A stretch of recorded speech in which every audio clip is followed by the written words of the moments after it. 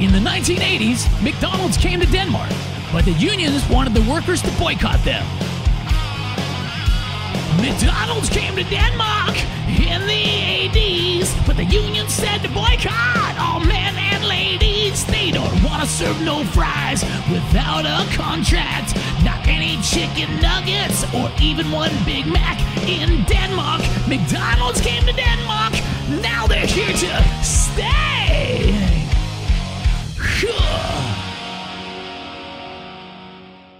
Okay, so I actually really like that song, but all I know about this topic of Denmark and McDonald's is that American pundits and politicians are always talking about how McDonald's employees in Denmark are paid $22 an hour, they get their six weeks of vacation, and they're paid maternity leave and safer and better working conditions. Now, I know most of that is actually due to Denmark's social welfare system, and the, the, labor laws that are already on the book. So why did McDonald's have to face a boycott from Denmark and all of the Danes in order to make this happen? Well, that's the thing. It wasn't as easy as it seems, and not all of these things are actually rooted in Danish labor law. So McDonald's had a lot of room to exploit the rules and different things here in Denmark when they first arrived. Okay, that's interesting. And when did they actually come to Denmark? So the story begins, let's go way on back to 1981. So in the US, Ronald Reagan was just inaugurated. In the theaters, it was Raiders of the Lost Ark that everyone was watching. And that's when McDonald's decided, as they were rapidly expanding around the world, it was time for them to come to Denmark. They were already in 20 countries at this time, and this little Nordic country was next on the list.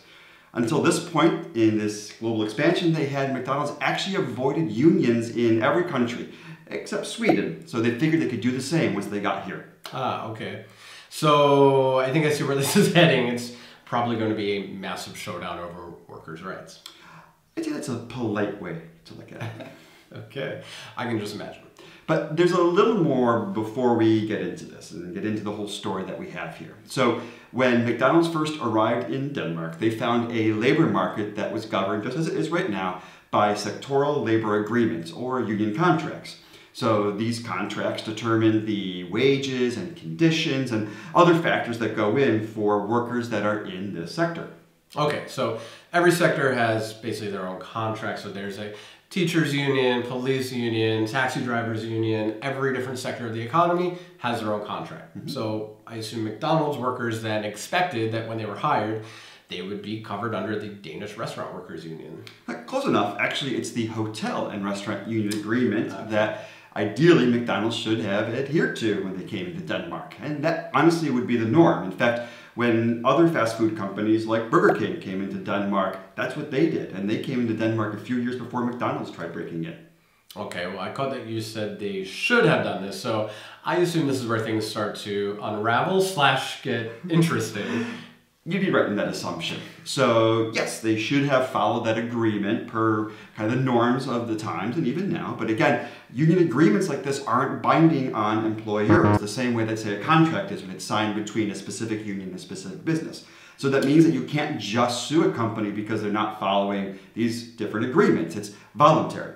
So McDonald's came in and decided that they're not going to follow the union agreement and decided to set up their own pay levels and work rules based on what they thought was fair. Okay, so what I know of Denmark is that seems like a huge mistake. I definitely would not want to be on the wrong side and cross the Danish labor movement.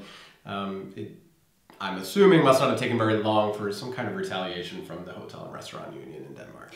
Yeah, not only did it not take that long, it was only a few months and things started getting kicked up. In fact, in 1982, there was a full court press to get McDonald's to follow the Hotel and Restaurant Workers Agreement things actually moved pretty slowly at first. I mean, McDonald's came in and they claimed that they had a very principled and unique position against unions. This is how they operated everywhere in the world. And so they said that negotiations weren't fair for them. They were, and they were not going to be able to do this. So in retaliation, they were beat up and dragged around the Danish press. But again, like many American organizations, they refused to yield. In fact, it took some years. And in 1988, the unions finally had enough. All right, this is actually what I was excited for the drama. Oh, yes, there's drama here. And what it came in the form of are sympathy strikes. Okay.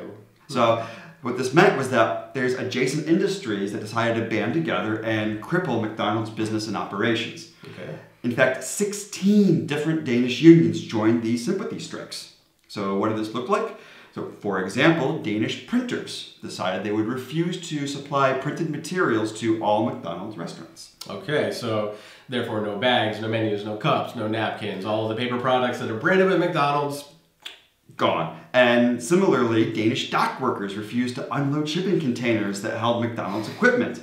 Union construction workers refused to do any work in or in new McDonald's locations, improvements they were doing, and in fact, they were in the process of building a new restaurant, and that was stopped because the construction workers union decided that they didn't want to continue. Savage.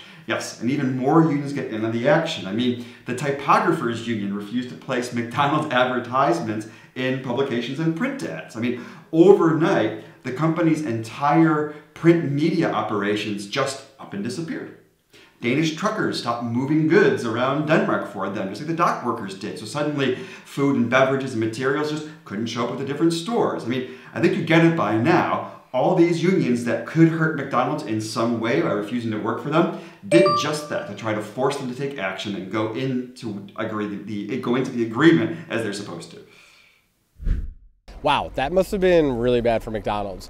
No advertising, supply chain crippled, even building and opening a new restaurant must have been almost impossible at that point. I mean, it was just about impossible for McDonald's to operate.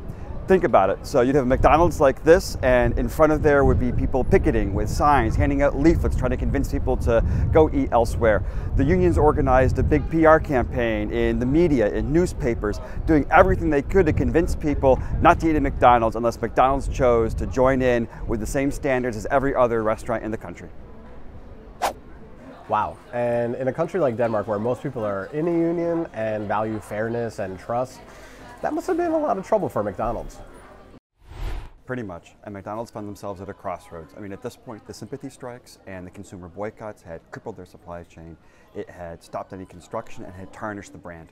By 1989, McDonald's finally came to their senses. They realized they had to be a part of the hotel and restaurant union agreement, and that's when they decided to actually play fair here in Denmark. Okay, so I'm piecing this together, and it seems like when US politicians point to Danish workers at McDonald's making more than their American counterparts, it's a little bit misleading. They're really leaving out the main fact that it wasn't always the case, and it only is today because of this boycott. Yeah, and on top of that, they leave out some other factors that I think are relevant here. The McDonald's model in Denmark is one that certainly does pay a higher wage than the US, but the flip side of that is that now there's fewer workers on each shift, as a lot of the manual labor has been replaced by machines that are able to take orders or other automation that prepares food or moves them around the restaurant so they can lower their overall labor costs without cutting the wages of the McDonald's employees. I mean, this is all completely legal as they run their business. True, and I know that Americans often bring up this McDonald's uh, in Denmark example when they discuss raising the minimum wage in America. But McDonald's doesn't pay their Danish work for doesn't pay their Danish workforce more because of a higher minimum wage. And that's kind of what the left in America wants you to think. Um, and the right wants you to think that it's because the Danish government stepped in and told the businesses how much to pay you. But that's also not the case. In fact, there, there isn't even a minimum wage in Denmark, which I think is lost on a lot of Americans and even some Danes. Um, most of Denmark doesn't even want one. Danish McDonald's restaurants pay high wages because of this. Back in the 1980s, Danish labor unions turned their entire business off with the flip of a switch. And they don't want to mess around and see if Danes would do the same thing again if they suddenly decided to not comply with those Danish labor contracts. Yeah, for sure.